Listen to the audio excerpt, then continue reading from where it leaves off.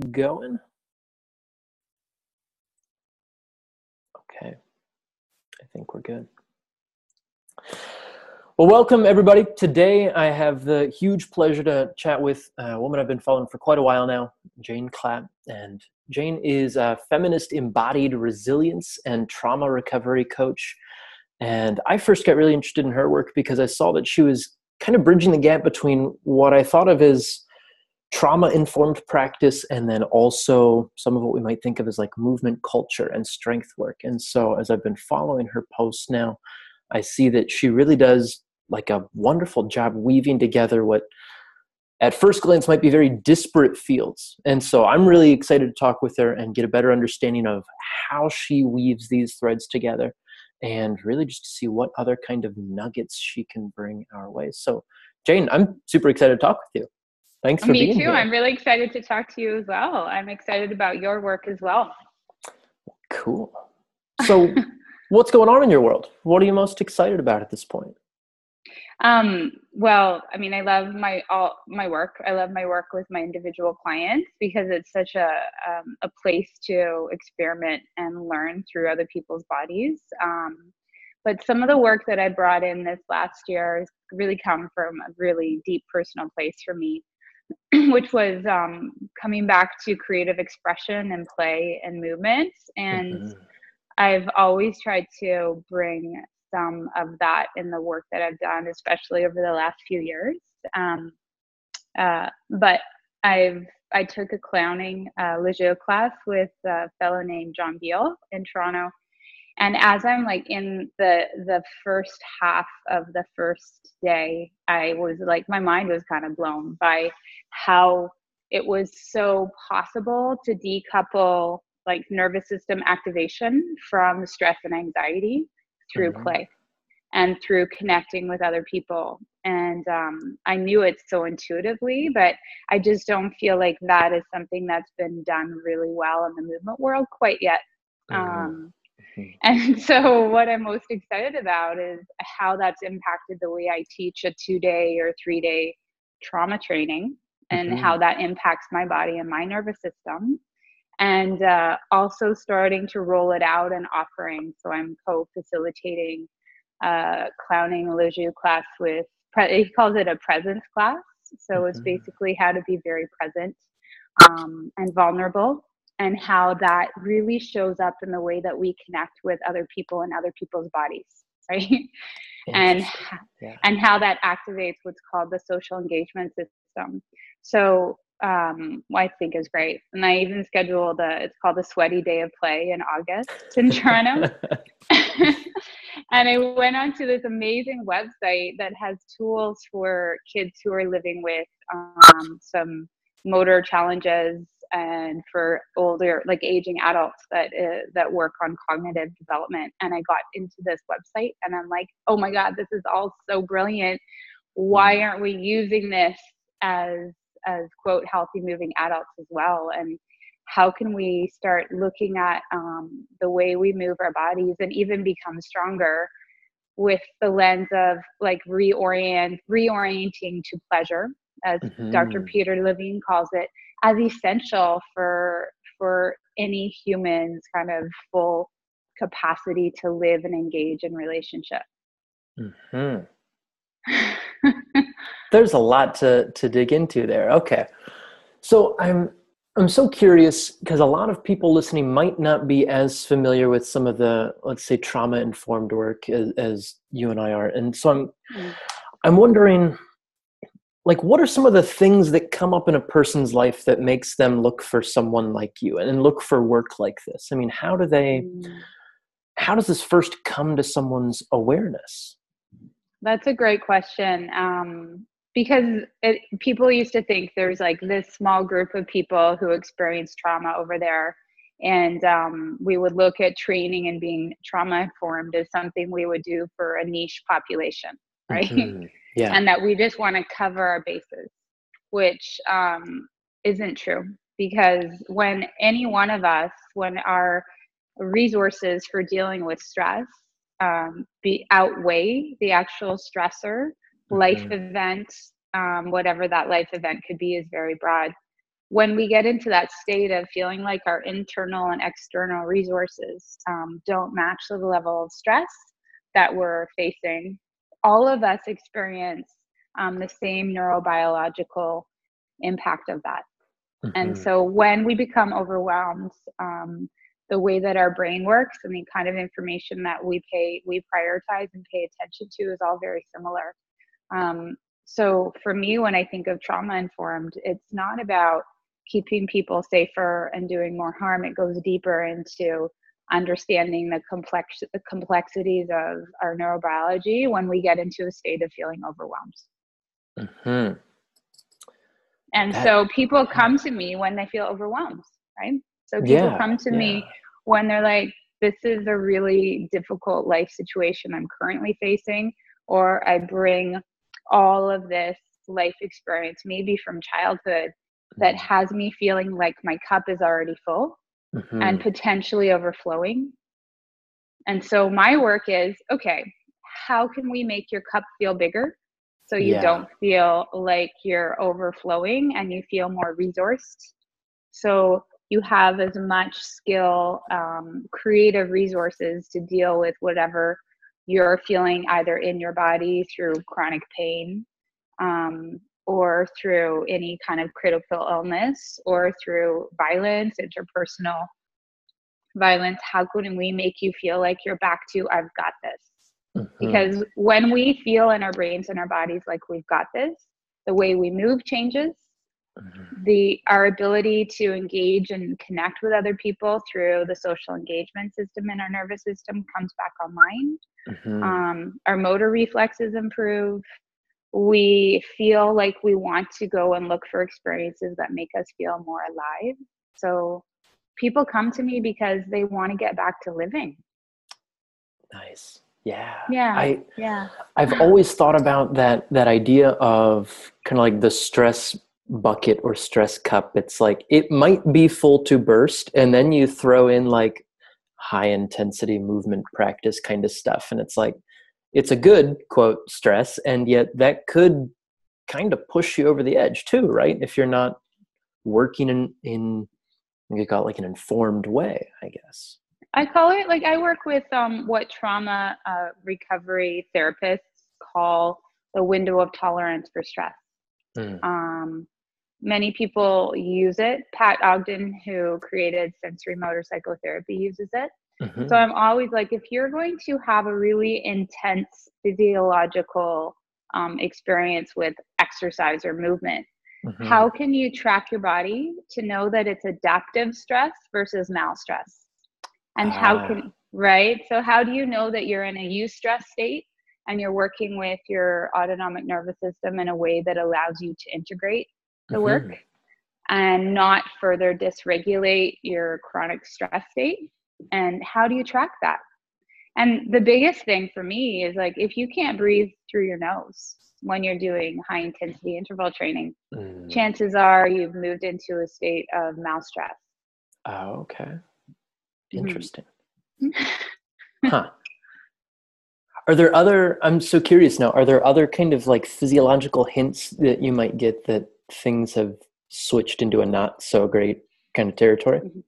yeah like I I I uh, ride a horse, and I've learned so much about how to be doing something extremely difficult, scary, like jumping over something, mm-hmm. on a mm-hmm. big, giant, amazing creature that's giving me permission. He's giving me permission to boss him around, right? Mm-hmm. But my coach, my coach tells me slow your body down slow your body down. So I'm in a very assertive, powerful carriage. Mm-hmm. Um, but there's part of me that always remains like like a very calm warrior. Mm-hmm. Like mm-hmm. I'm like I've got this because when I get out of that state, the horse starts getting agitated. So I get this like amazing feedback loop. So I'm always like if you start to get into a panic state and mm-hmm. you're just in this state of i absolutely can't wait to be done with whatever i'm doing right in this moment you've probably left your body you're mm-hmm. probably not tuning into inner body sensations Mm-hmm. And you're if you live with any level of hyper arousal in your nervous system that's sort of hyper vigilant, mm-hmm. then you're just patterning those neural pathways in even more. But yeah. if you add play, if you add play and laughter or a connection with other people as you're challenging yourself that way, it often takes down that sort of hyper arousal that can happen, right? Gotcha. Yeah, yeah. Mm-hmm. So is that where I mean where you see something like the the clowning arts work that you started exploring is that where some of that ties in just in terms of getting that social engagement in the practice going? Yeah, well uh-huh. um it's funny I I used to perform in my 20s and I did a lot of physical comedy. Oh, okay. And um and it was stressful. But there was this moment where I felt like people in the room were re- really with me. Mm.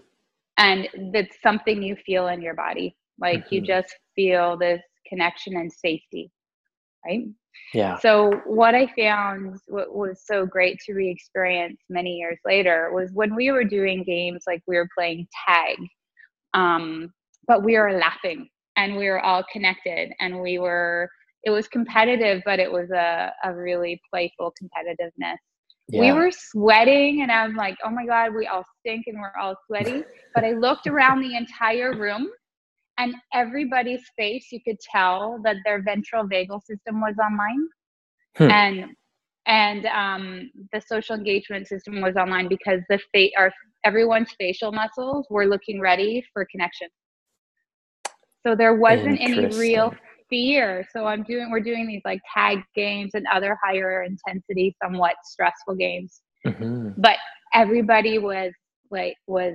ready to play and um, oh, that's awesome. And so I went to John after. I'm like, this is brilliant. This is like post traumatic growth. This is stuff that we have missed in the movement community because I mean I've been coaching for so many years and I and I mm-hmm. started out in such a prescriptive way, especially because my earlier coaching days were so much about fat loss and prescription and mm. body, body composition training and I was doing a lot more like Poliquin type stuff and um, and it wasn't fun for people and it was really hard for people to stick with it because yeah. they weren't they weren't experiencing joy in their bodies mm-hmm. mm-hmm. and i feel like culturally speaking one of the reasons that uh, depression is the leading cause of time off work worldwide according to the world health organization mm-hmm. is because culturally we've lost our orientation to play to hobbies to expression to living in community, um, mm-hmm. playing music together, for all the things that have kept us connected to one another. And so much of movement has has been so prescriptive and and utilitarian and yeah and i'm just like okay like you can squat perfectly but tell me is there any part of you that is enjoying what you're doing right now mm, that's big yeah. Right? I've been thinking about that so much more lately where it's like damn I don't care about the tricks and like there was a period of my life where I was very trick focused. I was like I want this perfect handstand and I want da da da because someone somewhere told me I should want that. And it's just it's a chore and you know at some point in the past couple of years especially in like the past year, it's like a switch flipped and it's like, oh yeah, now I just want to do things that are actually fun to be doing. Mm. Like I'll just go walk around the trails out here and it's like, oh, do I want to climb on that? Do I want to jump on that? Like here's this mm. big ass log. Can I get it overhead? Just for fun and just to see like what's what's possible. But it's you know, it's not a quantitative practice by any means. And I know that probably drives some people absolutely insane. Like, yeah. we've got this societal compulsion for numbers and outcomes and da da da da da da. And and growth, mm-hmm. right? Yeah, Which, as like a linear phenomenon, always. Yeah. yeah, like I look at, I do a lecture in one of my webinars on the obsession with self improvement and how that is mm. often just a, an expression of hypervigilance in our nervous system. Like if I actually mm. don't stop trying really hard, something bad's going to happen. Oh, that's really interesting. right? Um, and it's not to say like i think one of the things you said was great that you wanted to master a handstand you wanted to do this perfectly. That stuff is valid like mm-hmm. because mastering something is very mindful. You're very present in the moment which is powerful. But it's amazing to me how we haven't been taught to uh, celebrate those small victories and instead of them being a passing experience actually savor those little small victories and those those moments of mastery and really install them in our nervous system mm-hmm. so that they become something that we really carry with us because people who have felt really overwhelmed people who come out of a trauma history um, really need to feel moments of victory in their bodies mm-hmm. um, so that you have this state of I felt helpless at one point in my life and disempowered or frozen or collapsed as what happens in the autonomic nervous system during traumatic stress. And then you're like, and here's this victory, but we don't take those moments in and truly celebrate them, right? Mm, yeah. And and that's the reorienting to pleasure, right? To enjoyment, to victory, to joy we mm. we uh, and i think honestly i think it's just an expression of a bit of the puritanical work ethic that's um, expressed through capitalism mm. um, in some yeah. ways and not that there's anything wrong with it. capitalism it's just it weaves into the way we relate to our bodies as well huh okay that's super juicy i could you tell me a bit more about that yeah. Um, well, Gabor Mate is pretty awesome. I don't know if you follow Dr. Gabor, Gabor bit, yeah.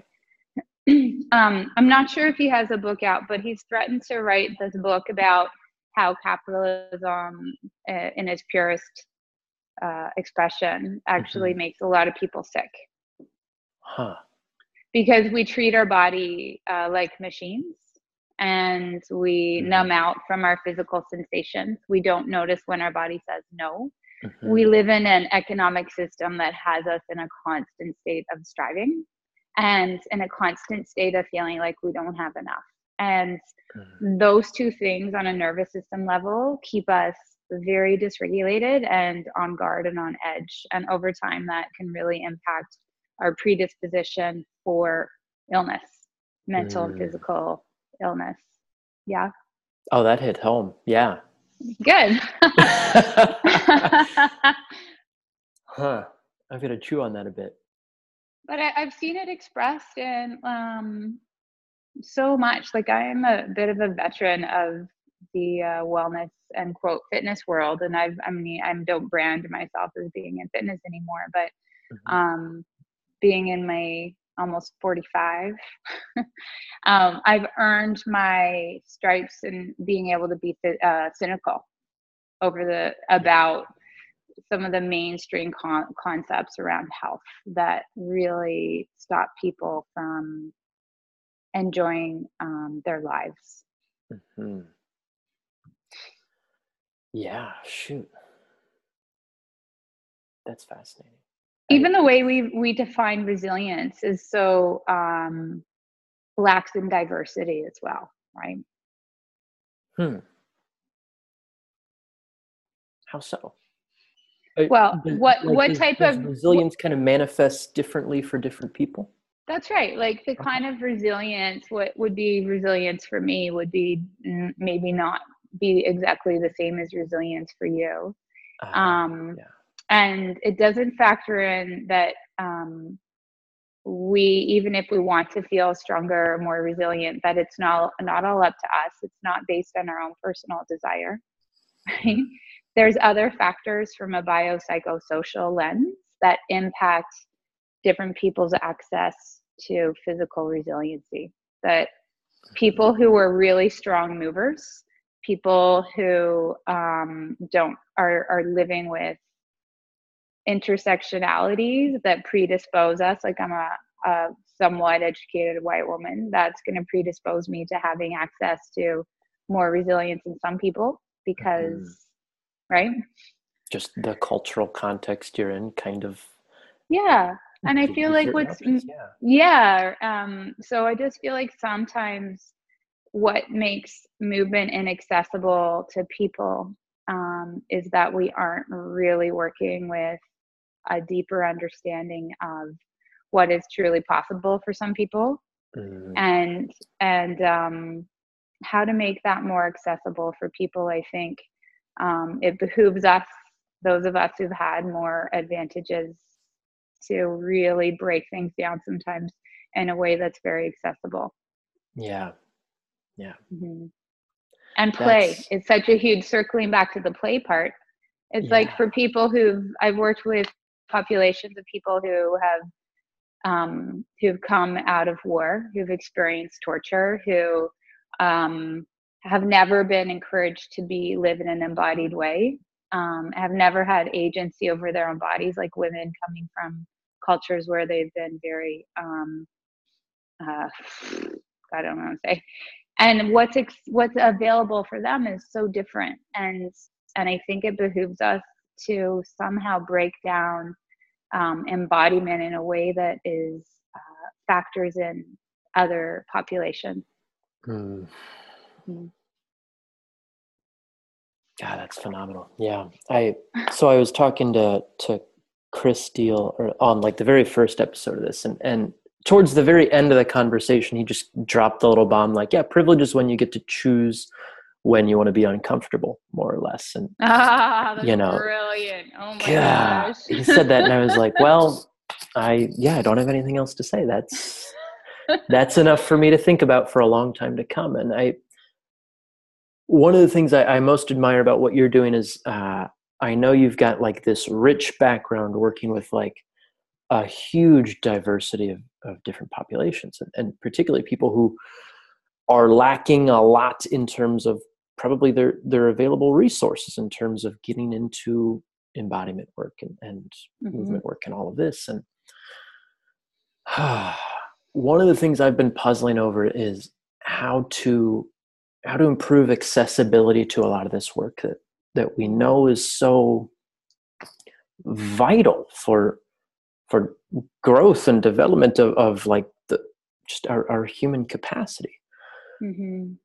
i mean based on on your view of things and, and everything you've experienced so far like what are some of the tools that that we can bring in as practitioners to to improve accessibility to some of these things i think it's um hmm, i think there's a real skill in packaging really complex information Mm-hmm. into uh, really uh, uh, experiences that can be integrated that make people want to repeat it on their own. Ah. and so when we've, um, like for example, with the population I've taught at the Center for Victims of Torture, I would bring in um, massage balls and not uh, as a way to break up tissue, more mm-hmm. nervous system regulation and self soothing. And um, okay. what I'm trying to offer them instead of you need to build your core and you need to that's the last thing on their mind, right? Mm-hmm. I'm like, how can you use this really simple tool at home to calm your nervous system before you go to bed and mm-hmm. down regulate your pain receptors? Mm. Two super, super simple things that are absolutely not going to improve their overall movement um, vocabulary, but mm-hmm. are exactly what they need at that point in time. So we have mm. to, I think, what I found uh, over the years is accepting that there isn't that the way that we make things accessible for people is just grabbing the low hanging fruit. Mm, yeah. And being able to really appreciate the limitations of what people can integrate instead of trying to shove it down their throat in a really prescriptive way and it's for me it's always about how can i find somebody's pull because i mean in canada i think like less than 30% of the population gets enough movement to um, sustain health much mm-hmm. less improve so for me i'm like what is going to pull people into wanting to move more mm-hmm. what is mm-hmm. going to pull people into wanting to feel more embodied well a lot of the time it's play pleasure and self-soothing mm-hmm. And so I think we have to uh, have some humility and understanding that it's okay for people to do just what's within their bandwidth at any given point in time. Yeah. and not and not at all carry around that sense of urgency of wanting to convince people to do more than they can do right now. Hmm. does that make sense at all? Oh totally. Yeah. Yeah. Yeah. Yeah and I mean, like, I've worked with lots of people. I've worked with a lot of professors over the years um, because I my old studio is close to U of T, University of Toronto. And um, helping someone who's never felt embodied move meant giving up the idea of an ideal program. Mm. Because mm-hmm. I wanted them to want to come back. So it's sort of like I bribe people in session. right? As mm-hmm. soon as I notice that they have lost their desire to be in the room mm-hmm. and it starts feeling too much like work, because most people I see work already so much. Oh, yeah. So when they're coming to see me, I don't want to be in another addition to what feels like work for them. Mm-hmm. So, helping people who aren't really experienced movers, who've never felt really good in their body or even wanting to connect with their body, that is not about learning how to do a perfect headstand, right? Mm-hmm. Certainly, that's a personal practice, but there's an art to coaching people who really need it the most. Mm-hmm. And a lot of people don't want to spend time there because it's not really fancy stuff. Yeah. Yeah. Probably doesn't make for great videos of like, this is my client session and da da da. Yeah, but. No, no. Uh, but that's probably the most nourishing thing you can do for whether we like it or not the vast majority of people that we'll ever come into contact with yeah yeah oh. oh that's crazy was there was there a time in in your kind of professional life where like it just like clicked like oh something's broken about the way that that i've been working or that we are in general working like, was there a, a kind of inciting incident around that? Yeah, I think it was when I was almost broken. ah, yeah. I opened up my new, I opened up a studio in 2006. I had a book come out that year. And don't look it up. I hate that book. And then uh, I don't hate it. It's just I would never ever write it or sell it again. Um, um, so I was super busy with that. And then about four months after I opened my studio, my daughter's father and I split up. Hmm. And I'd been like really using exercise to numb out.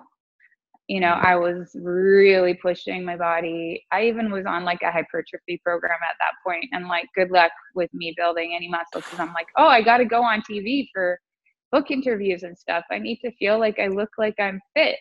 Yeah. um, and then it all sort of, I lost my capacity to push. And I had this really nice, quiet studio. And I just literally was so stressed. I felt like I was going to barf all day for about six months. And I was like, okay, I need to know, I know I need to move, but I, I can't do it like yeah. that anymore um, I just lost the capacity to to push myself that way. So at that point, I also started noticing because I was in a private space, people who were living with cancer or out of cancer treatment started coming in. Mm-hmm. Um, and I'm like, how can I help people have moments of vitality and feeling okay, given that they can't push their bodies that same that same way? And then at that point, like I specialized in people who were going through cancer treatment or out of treatment. And then I just started really drawing a lot of connections between feeling overwhelmed, like I had in my body. I was a bit more compassionate, I hope, towards people because of feeling that level of of um, like brokenness or fatigue. And I just did, the studio just started becoming a place where I welcomed people with so many different health conditions or mental health um, challenges or trauma. And that's was like, oh, okay, there we are. Mm. Mm-hmm. Hmm. Yeah. Yeah. That, that makes sense. Yeah. And it's been a journey. Like I um I get bored with the same movements over and over again because I've been mm-hmm. doing sets and reps and la la for so long and I'm I'm trying to find my way into being involved with movement that makes me feel more resilient but isn't and respecting that there's a certain amount of hygiene exercises we have to do mm-hmm. but what's interesting to me now is it's i can't just I, I need something that's more interesting riding definitely riding a horse is the most complex mm. movement activity i've ever done um, i could do that every day and be really happy yeah. with that yeah. um, but it's always like well what's interesting to me now what engages my brain what mm. what makes me really want to work at mastering this as well yeah yeah mm-hmm.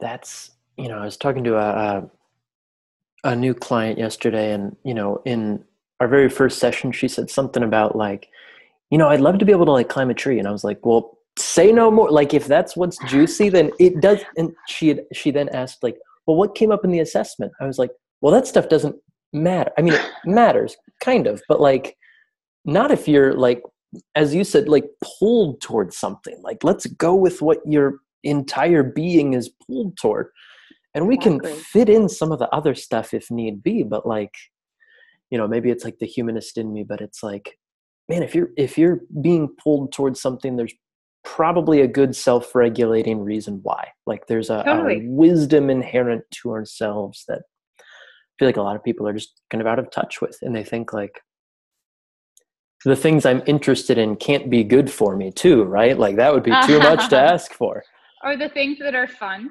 yeah. for me. Yeah. Like, i love it when i hear about clients starting to dance take take dance lessons dance at home like all that mm-hmm. stuff and they're like that can't count. I'm like yeah. It totally can. Yeah. Yeah yeah yeah yeah. It's funny i was playing some african drum uh, drumming in a boundaries workshop embodied boundaries workshop i was doing on saturday mm-hmm. and um, i'm so obsessed with music like music is such a, a huge part of my life it's a huge resource even for my daughter like i'm like you have to fall in love with music while you're a teenager it's going to make your life a lot better Mm-hmm. And so, music, all sorts of music, such a resource. And uh, I was playing some African drumming and just getting people to shake and like start accessing power in their body again and yeah. and um, that's something i really bring into my work for people if they're interested or even introducing people to how music impacts how they feel and move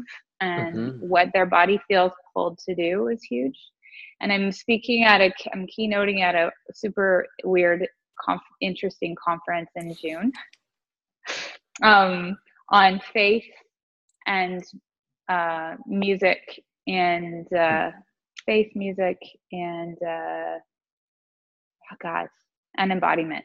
Oh, okay. And huh. it's uh, yeah. So I'm basically showing people what happens to your nervous system when we're in community with one another and uh, and when music comes on and how we are much more able to connect with other people when we are feeling in rhythm with each other so anyway oh, cool. i could go on about that. Yeah it's really neat. So I, i'm basically telling uh, theologians why it's good on a neurobiological level. That's awesome. I know. Oh very cool. Yeah. No i'm also curious because i know you've got another one coming up soon but the the embodied boundaries kind of idea. What's mm. what's that all about for people that might not have an idea of what boundaries right? what are? the hell is that about yeah i'm like what am i teaching kind of pulling it out of my own butt but um I use my own like body as my research tool and my mm-hmm. own experience, but um a lot of us like Brené Brown has great stuff about boundaries. Melody Beattie has great stuff about boundaries. We know we need healthy boundaries in relationships, and uh, mm-hmm. we know it in our heads. But there's this block in being able to um, take better care of ourselves in relationships. Mm. To notice that there's been a need to set a healthier boundary in all sorts of relationships from our kids right up into like people we don't want to be around who we feel unsafe around right mm-hmm. it's a mm-hmm. full spectrum so and also the boundaries of what leaks out of us so mm. We have this amazing walkie-talkie system in our body called the vagus nerve and the enteric nervous system mm-hmm. but most of us aren't using that in our day-to-day life the way we move through the world and we sense into um, information that our body is trying to send to us about different people and different situations and circumstances. So for me, like the cognitive piece, most people I work with already know what they need to be doing for themselves better.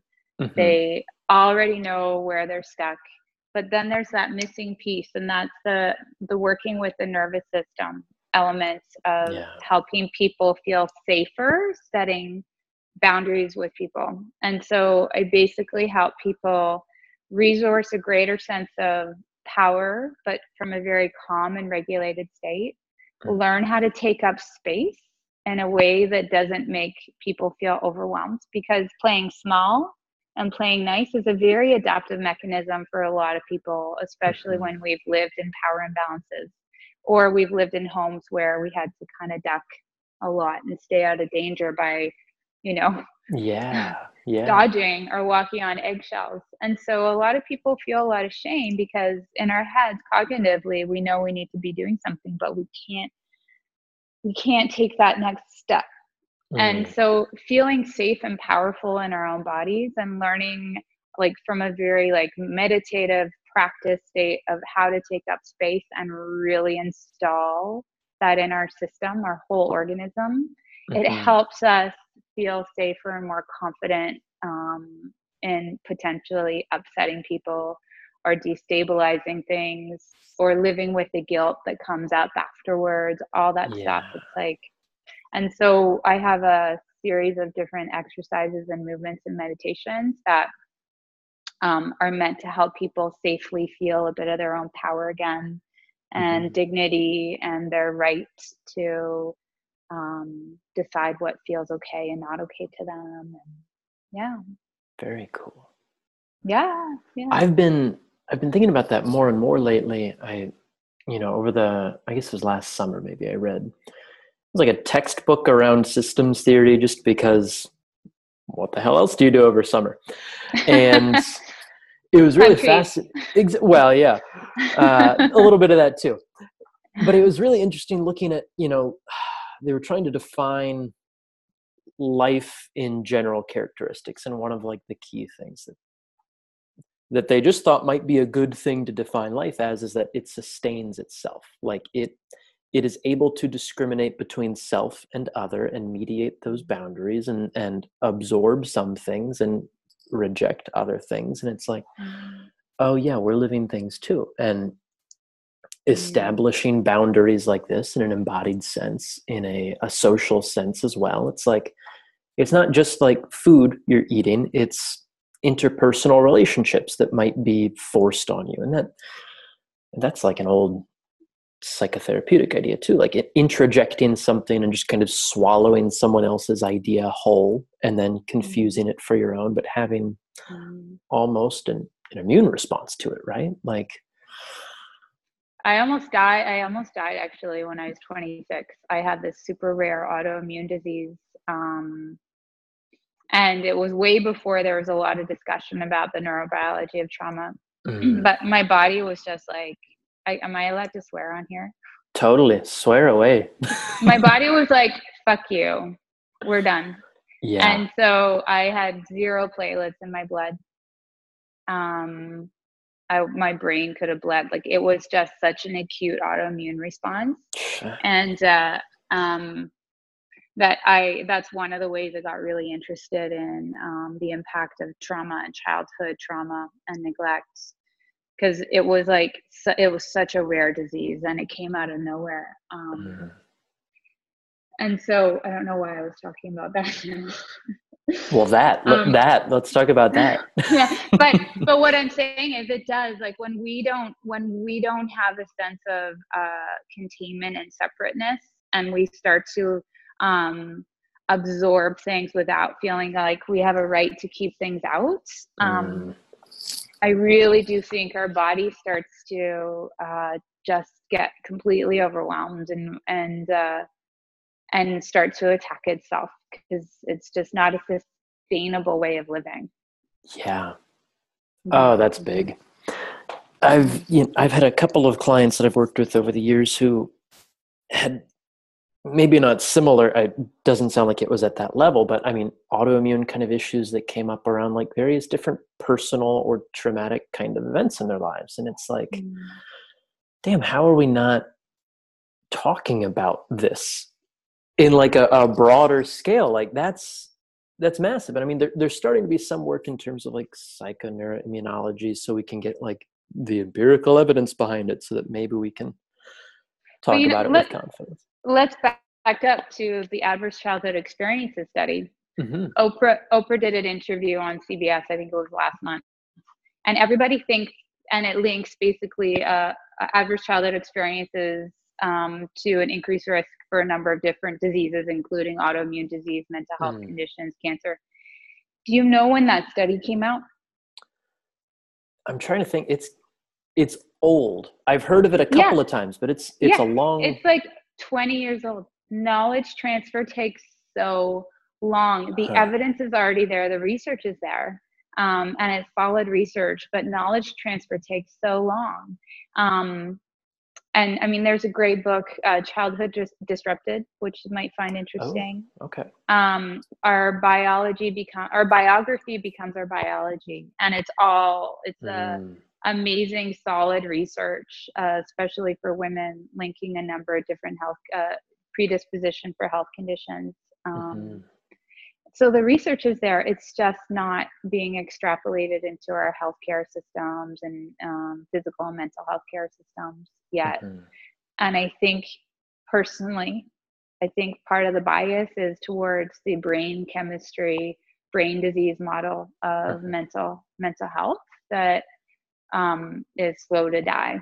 Yeah. It's it's a much yeah yeah.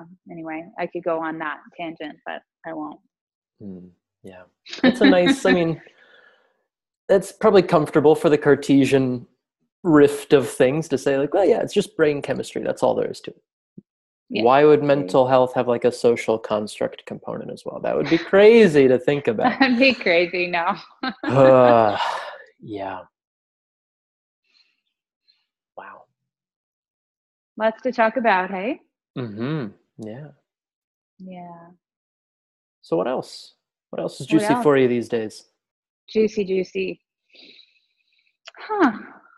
I would say outside coming up. Uh, I just learned so much again with the riding. Um, mm-hmm. With riding on a horse, like I, I've learned so much about myself and uh, and how to be in relationship and how to read nervous system stuff and how to regulate my own nervous system um, because what i notice with a lot of people i can get them to think about doing an intense activity and i'm like okay tell me if you've got a belly zap I call them belly zaps like mm. activation mm. and um, i'm just so fascinated in even thinking about um, a more intense physical activity how that impacts our nervous system before we're even doing it mm. and how we can learn how to regulate our own nervous system before we go and try to do something hard so that we stay in a state of being a lot more centered and calm and regulated because i can be riding um, and i ride incredible horses so i'm not sure all horses are like this but we'll be thinking of doing say canter um, or even jumping Mm-hmm. And my teach my coach will be like, okay, slow your body down because if I think canter, the horse will start cantering. Oh, that's so weird.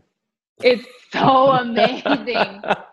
right? Yeah. Amazing. And I think about that when we're with clients because if we are ultimately co-regulators when mm. we're with mm. our clients and our own nervous system stuff is what people get to piggyback on when they start to feel that activation in their nervous system, which is going to interfere with their ability to stay present in the movement or with their own body.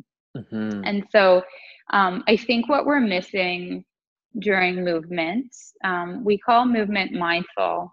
But to me, movement is only, quote, mindful when it has something called dual awareness in it. Um, hmm. and Babette Rothschild is a remarkable uh, trauma therapist. She uses this from a trauma therapy, therapy perspective, but from a nervous system regulation perspective, I use this. I have to be so regulated in my own body and aware of what I'm feeling on the inside in order for me and the horse to accomplish something really challenging and mm. for for the horse to be really balanced and not falling forward on its legs in kind of a panic state yeah. and um, there's so many movers i've worked with um, i've almost do like professional dancer rehab Hmm. or um, gymnast rehab because so much of our movement doesn't involve dual awareness, where not only are we thinking about how to accomplish this movement on the inside, but we're not also rooting our awareness on, say, interoception, inner body awareness at the same time.